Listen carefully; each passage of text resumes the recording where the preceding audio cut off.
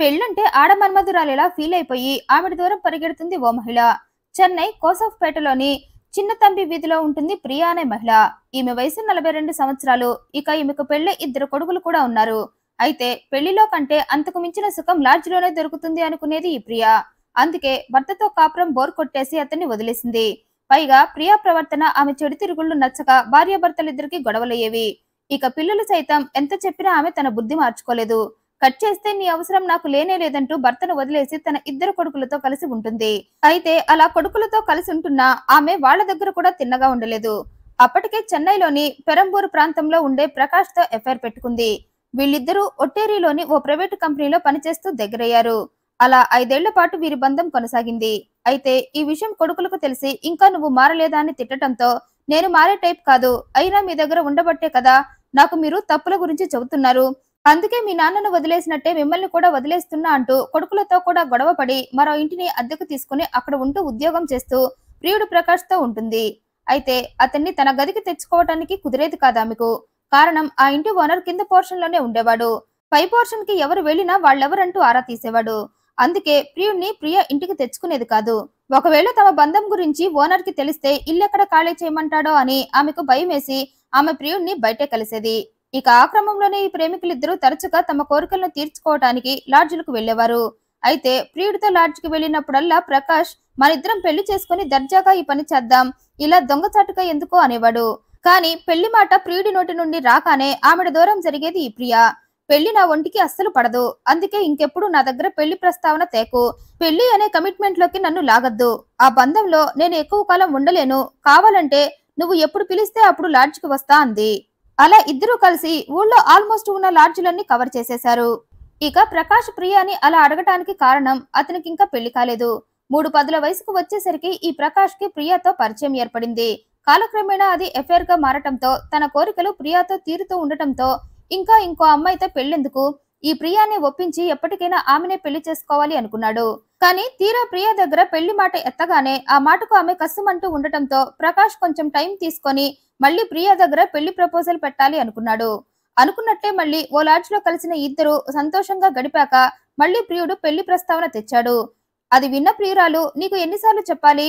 పెళ్ళి వద్దే వద్దు అని ఇలా జీవితాన్ని ఎంజాయ్ చేస్తూ గడిపేద్దాం అంటూ కోపంగా అక్కడి నుండి వెళ్ళిపోయింది అయితే ప్రియ దగ్గర పెళ్ళి ప్రస్తావన తెచ్చిన ప్రతిసారి ఆమె పెళ్ళిని ఎందుకు వద్దంటుందా అని డౌట్ వచ్చి ప్రకాష్ ఈ ప్రియా గురించి ఎంక్వైరీ చేయగా ఆమె తనని మెయింటైన్ చేస్తూనే మరో మగాన్ని కూడా మెయింటైన్ చేస్తుందని తెలిసి షాక్ అయిపోయాడు.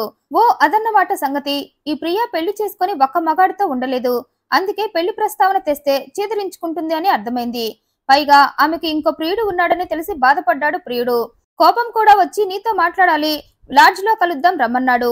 ప్రియుడు రమ్మనగానే కోరిక తీర్చుకుందామని వెళ్ళిపోయింది ప్రియా. అలా ఓ లాడ్జ్లో కలిసిన ఇద్దరు ఫుల్గా తాగేశారు. ఆ తర్వాత ప్రకాష్ ప్రియతో నీకు ఇంకో ప్రియుడు ఉన్నాడని నాకు తెలిసింది. అందుకేనా నన్ను పెళ్ళి చేసుకోవడానికి నిరాకరిస్తున్నావు? ఇవన్నీ వదిలేయి. నిన్ను బాగా చూసుకుంటా. మనిద్దరం పెళ్ళి చేసుకుని హ్యాపీగా కలిసి బ్రతుకుదాం అన్నాడు.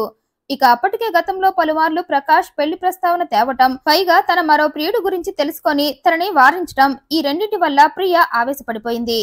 అప్పటికే ఫుల్గా తాగేసి ఉండటంతో ఆవేశపడిపోయిన ప్రియ ప్రకాష్ చొక్కా పట్టుకొని లాగి అతని తల గోడకు కొట్టి అతను ఆ దెబ్బకి స్పృహ కోల్పోగానే పక్కనే ఉన్న దిండితో అతని ముఖాన్ని గట్టిగా నొక్కేసి చంపేసింది. అలా చంపాక ఇక జీవితంలో నా దగ్గర పెళ్ళి ప్రస్తావన లేకుండా ఈ ప్రకాష్ కథ ముగించేస్తా అనుకొని ఆ తర్వాత ఏం చేయాలని ఆలోచించింది. ఏదో ఒకటి చేసి ఆమె ప్రకాష్ని చంపిన హత్య నేరం నుండి బయటపడాలి అనుకుని బాగా ఆలోచించి ఓ ప్లాన్ వేసింది. ఆ ప్లాన్ ప్రకారమే ప్రియ రాత్రి తొమ్మిదిన్నర టైంలో లాడ్జ్ మేనేజర్కి ఫోన్ చేసి ప్రకాష్ బాగా తాగేశాడు. నేను వద్దంటున్నా వినకుండా బాగా తాగి స్పృహ కోల్పోయాడని మీరు ఓసారి రూమ్ దగ్గరికి రావాలని చెప్పింది. దీంతో అతను గదిలోకి వచ్చి ప్రకాష్ని పరిశీలించగా అతను అప్పటికే చనిపోయాడని అర్థమయ్యి విషయాన్ని అతను పోలీసులకు చెప్పాడు. ఇక కొద్దిసేపటికే పోలీసులు వచ్చి ప్రకాష్ శవాన్ని హ్యాండ్ ఓవర్ చేసుకుని ప్రియాను ప్రశ్నించగా ప్రకాష్ వద్దన్న విపరీతంగా తాగేసి ఇలా చనిపోయాడని చెప్పి ఏడ్చింది. దీంతో పోలీసులు ఆ హోటల్ దగ్గరికి వెళ్ళి ప్రకాష్ శవాన్ని హ్యాండ్ ఓవర్ చేసుకుని పోస్ట్ మార్టం చేయించగా అతనిది హత్య అని తేలింది. దీంతో ప్రకాష్ ది హత్య కేసుగా నమోదు చేసి అతను చనిపోయే టైంలో ప్రియ అతని గదిలోనే ఉండటంతో ఆమెను పట్టుకుని విచారణ మొదలుపెట్టారు పోలీసులు. అయితే విచారణలో ప్రియ మాత్రం తనకేం తెలియదంది. పైగా ప్రకాష్ అంటే తనకు పంచప్రాణాలని ఐదు సంవత్సరాలుగా నేను అతనితోనే ఉంటున్నానని. నిజంగా అతను ఆ రోజు విపరీతంగా తాగటం వల్లే చనిపోయాడని చెప్పి మళ్ళీ ఏడ్చింది. అయితే పోస్ట్ మార్టం నివేదికలో ప్రకాష్ తలకు బలమైన గాయం ఉన్నట్లు తేలటంతో మరి ఆ తలకు తగిలిన గాయం మాటేంటని ప్రశ్నించగా కింద పడే ప్రాసెస్లో ప్రకాష్ తల గోడకు గుద్దుకుందని చెప్పి కవర్ చేసిందామే. కానీ ఆల్రెడీ పోస్ట్ మార్టం నివేదికలో ప్రకాష్ ఊపిరాడక చనిపోయాడని తేలటంతో ప్రియా నాటకాలని భరించలేక ఆమెకు తమ స్టైల్లో విచారణ ఎలా ఉంటుందో రుచి చూపించేసరికి టకటకమని నిజాలన్నీ కక్కేసిందామె ప్రకాష్ తనని పెళ్ళి చేసుకోవాలని ఒత్తిడి తెచ్చాడని అయితే పెళ్ళంటే ఇష్టం లేని నేను పెళ్ళి మాట తన దగ్గర ఎప్పుడూ ఎత్తొద్దని చెప్పానని కానీ ప్రకాష్ మాత్రం కలిసిన ప్రతిసారి పెళ్ళి చేసుకుందామని సతాయిస్తున్నాడని పైగా నాకు ఇంకో ప్రియుడు కూడా ఉన్నాడని తెలుసుకున్నాడని ఇక ఇన్ని తెలిసాక ప్రకాష్ బ్రతికుంటే నాకు చాలా ఇబ్బంది అవుతుందని అతన్ని గోడకేసి కొట్టి దిండుతో నొక్కేసి చంపేశారని చెప్పింది ప్రియా. ఇక ప్రియా బ్యాక్గ్రౌండ్ గురించి ఆరా తీశారు పోలీసులు. అప్పుడే తెలిసింది వారికి ప్రియా గతం పరమ వరస్ట్ అని. తన సుఖాల కోసం భర్తని కడుపున పుట్టిన పిల్లల్ని కూడా వదిలేసి ప్రకాష్తో ఉంటుందని. దీంతో నేరం అంగీకరించిన ప్రియాను అరెస్టు చేశారు పోలీసులు. ఇంతవరకు మనం పెళ్ళి చేసుకోమని ప్రియుడు వెంటపడి ప్రాణాలు పోగొట్టుకున్న ఆడవాళ్ళనే చూశాం. కానీ ఫస్ట్ టైం ఓ మగాడు పెళ్ళి చేసుకుంటా అని అడిగితే అది ఇష్టం లేక అతన్నే చంపేసిన స్టోరీ ఇదే ఫస్ట్ టైమో. పెళ్ళి బంధంలో ఉండటం ఇష్టం లేకనే ప్రియా భర్తని వదిలేసినప్పుడు తనని ఎలా పెళ్ళి చేసుకుంటుంది అని ఒక్క క్షణం ప్రకాష్ ఆలోచించి పెళ్ళి చేసుకోమని అడగకుండా ఉంటే ఈ రోజు అతను బ్రతికుండేవాడేమో. అందుకే ప్రేమిస్తే పద్ధతిగా పెళ్ళి చేసుకునే వాళ్ళనే చూసి ప్రేమించండి. అంతేకాని పెళ్ళి మాట ఎత్తితే సైలెంట్ అయ్యి లాడ్జి మాట ఎత్తగానే బండెక్కి వచ్చి కోరికలు తీర్చుకునే అమ్మాయిలను కానీ అబ్బాయిలను కానీ అస్సలు నమ్మకండి వాళ్ళను ప్రేమించకండి. నమ్మి మోసపోయి భగ్న ప్రేమికులు కాకండి. అసలు ప్రేమ అనే కాన్సెప్ట్లో నుండి బయటకు రావటం చాలా బెటర్ ఎందుకంటే ఈ రోజుల్లో ప్రేమలన్నీ అవసరాలకు పుట్టే ప్రేమలే కాబట్టి నిజాయితీగా రిలేషన్లో ఉండే జంటలు చాలా తక్కువ. ఒకసారి ఆ బంధంలోకి వెళ్తే బయటకు రావటం చాలా కష్టం. అందుకే ఓ మనిషిపై ఇష్టం కలగగానే నెక్స్ట్ స్టెప్కి వెళ్ళిపోకండి. బాగా ఆలోచించి ఆ పర్సన్ మనకు కరెక్టా కాదా అని ఆలోచించుకొని ఆ తర్వాత అడుగు వేయండి. మనకి నచ్చిన వారు మనకు కరెక్ట్ కాదని తెలిసినప్పుడు ఇబ్బంది పడైనా వాళ్ళని వదిలేసుకోవటం బెటర్. మహా అయితే నాలుగు రోజులు బాధుంటుంది కానీ మనకు సెట్ కాని వారితో కలిసి ఉంటే జీవితం నరకంగా మారుతుంది.